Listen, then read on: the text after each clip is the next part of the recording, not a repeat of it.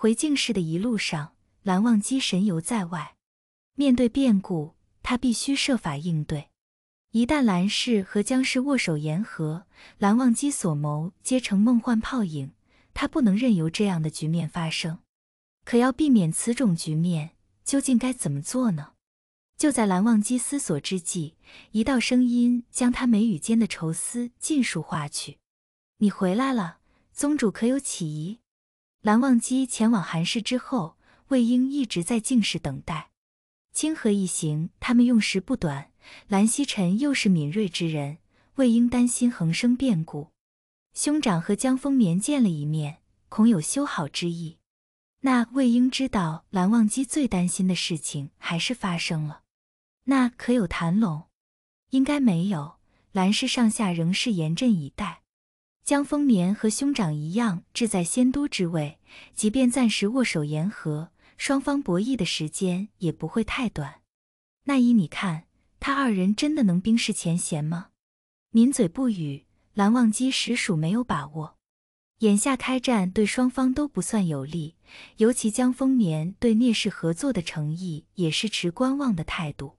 再加上蓝氏这边出了自己这个变数，眼下无论哪一方，除非有必胜的把握，否则万万不敢轻举妄动。可这些蓝忘机并不想说出来，平添魏婴的担忧。一切还都是未知之数，我们且走且看便好。等了我许久，可有用膳？还没有。想起方才蓝忘机眉头紧锁的模样，魏婴知道事情或许已经脱离了掌控。不如我们一道用膳。听到魏婴的邀请，蓝忘机被暖意填满。魏婴，无论前路如何艰险，只要想到我每天都能在你心里多一点分量，我便无所畏惧。魏婴还真是佩服蓝忘机顺杆爬的本领，自己只是邀他一块用膳罢了，又何时多了他的分量？只是用个膳罢了。你若再多想，以后便还是各吃各的。转身入内，魏婴不想再给蓝忘机调戏自己的机会。蓝忘机见此，打算见好就收，总归魏婴不再躲着自己，那以后便多的是机会。总之，无论是软磨硬泡，还是死缠烂打，这辈子蓝忘机赖定了魏婴。韩氏启票宗主，魏公子没在梅香院。哦，那魏婴现在何处？魏婴离开云深不知处多日。蓝曦臣本想唤他前来，一为了探听虚实，二也是为了以解相思。魏公子在静室，还跟二公子一起用了午膳。魏婴居然跟蓝忘机一口用了午膳吗？蓝曦臣意外之余，惊觉他二人的误会竟然解开了。可到底是何种契机可以令魏婴解开心结呢？蓝曦臣不禁怀疑，在清河那段时间，他二人究竟发生了何事？知道了，你先退下吧。蓝曦臣需要慎重考量，接下来的每一步都至关重要，绝不能行差踏错。蔑视。江氏、金光瑶还有自己的弟弟蓝忘机，在诸多势力之间，究竟谁能为自己所用，而谁又是隐藏在暗处的敌人？蓝曦臣必须细细思量。你是说云梦江氏知道聂氏不是真心和他们合作了？魏婴这才明白为何云梦江氏会突然转了态度。不错，兄长此举的确高明。将我与聂怀桑合作之事告知江丰年，名义上是让江丰年觉得蓝氏内部动乱，兄长不得已只能示弱。实则兄长也是和江丰年知道，他和聂氏的合作根本是镜花水月罢了。江氏若没有聂氏的鼎力相助，和蓝氏抗衡，绝没有必胜的把握。江丰年不会轻易冒险。可聂怀桑也可能是假意与你合作。实则为了瓦解蓝氏啊？难道江丰眠不怀疑这个可能？聂怀桑自然会跟江丰眠如此解释。但江丰眠是比兄长更要谨慎的人，所以在探查清楚聂怀桑真正的意图前，是不会妄动的。魏婴闻言，眉头微蹙，低头沉思。突然，福临心智，魏婴恍然大悟：蓝湛，既然江丰眠太过谨慎。索性我们还是从蓝氏下手，然后利用江城给蓝曦臣那里加把火。怎么说？蓝忘机饶有兴致地看着魏婴，他很喜欢现在和魏婴一起并肩作战的感觉。其实也很简单，首先让聂怀桑开出合作的条件，这个条件胃口越大越好，最好能让蓝曦臣认定你蓝忘机满足不了聂怀桑的胃口。如此一来，蓝曦臣才相信自己真的可以将聂怀桑收为己用。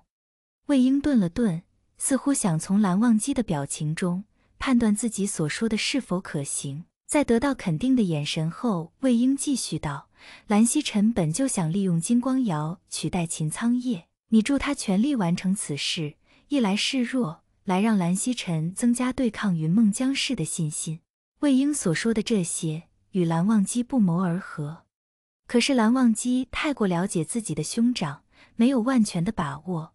蓝曦臣绝不会和江氏开战。魏婴，只要兄长仍对聂怀桑存疑，又或者不不能完全信任金光瑶，恐怕兄长都不会冒险而为。点了点头，魏婴道：“我知道，所以这最后一步就是我想办法。云梦江氏开口讨要我，若蓝曦臣不肯给。”只怕江氏和蓝氏的局面会变上一变，此事不妥，我不能让你冒险。听到魏婴想要以身犯险，蓝忘机果断拒绝，不会危险的。现在的我今非昔比，纵使江氏当真讨要，蓝氏也不会放人。蓝氏当然不会放人，魏婴实力不俗，是蓝氏的一大战将，蓝氏又怎会将魏婴拱手让与江氏？这个道理，蓝忘机不是不明白，但关心则乱。更何况蓝忘机不愿魏婴冒一丝风险，那也不行。再说云梦江氏又怎会无端讨要你呢？蓝忘机还是拒绝。这点我想过了，只要我暗示江厌离想要离开蓝氏，他自然愿意顺水推舟。你是蓝氏不可或缺的战力，这一点江厌离非常清楚。既然他已经向叔父和兄长表了忠心，又怎会做出对蓝氏不利之举？难道他不怕被人察觉，影响他主母的地位吗？饮了口茶，魏婴似是胸有成竹。蓝湛，刚刚你去拜见宗主之时，我从景怡那里听到了点消息。江宗主去看望江燕离时，屋内似有打碎茶杯的声音。不久，江宗主就含怒而出。你说这代表什么？你是说江丰年对江燕离不满？这也不无道理。本是想送个女儿过来探听消息，谁成想江燕离竟选择了蓝氏。江丰年心有气恼，也是情理之中。蓝忘机领悟了魏婴的意思，你是说江燕离看到江兰两家的关系出现转机，所以想要向江家示好？可江燕离不会得罪叔父的。除非他能让叔父不仅不会对他不满，反倒觉得他对兰氏有功。蓝忘机一向颖悟绝伦，魏婴简单的几句话已经让他心领神悟，这不免让魏婴有了心有灵犀之感。心有灵犀吗？魏婴被自己的想法惊到了。果然，蓝忘机于魏婴而言，终是与旁人不同。一旦摒除误会，朝夕相对，魏婴还是会被他吸引。甚至不自觉地靠近，尽管魏婴已经不想让自己陷入情爱中不可自拔，可惜情之一字，岂是人力可以控制？若非如此，世间便不会有那么多的痴男怨女了。魏婴，魏婴，看到魏婴正愣着出神，蓝忘机不知道是不是自己说错了什么。蓝听到蓝忘机的呼唤，魏婴如梦初醒：“你在叫我吗？”魏婴。你的脸怎么红了？可是我说错了什么？这段时日虽说魏婴已经能和蓝忘机随意相处，但蓝忘机还是有患得患失之感。他担心魏婴会随时筑起高墙，又将他拒之门外。